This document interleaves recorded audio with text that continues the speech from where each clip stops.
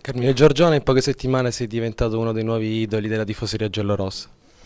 Ma, come avevo già detto a Corner Messina, ma come anche altri giornali, penso che con lo spirito di sacrificio e con la voglia le persone si innamorano di, di come giochi, ma si sono innamorati proprio di tutta questa squadra, perché comunque ogni domenica facciamo vedere a tutti che siamo gli ultimi a morire.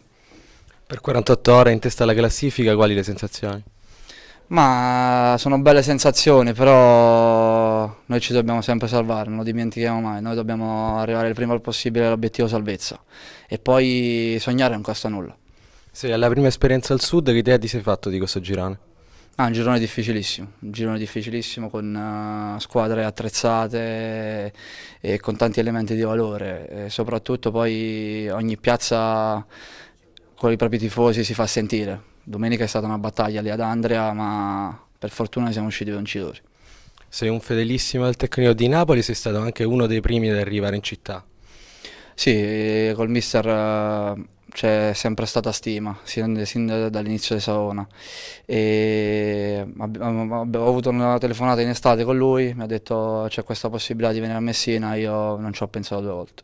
Quali le armi per superare la Lupa Castelli nella partita di sabato? Sicuramente tanta pazienza, pazienza e la nostra caratteristica poi che alla fine è la nostra identità, la voglia di non mollare, di riuscire a raggiungere l'obiettivo e il risultato. Grazie.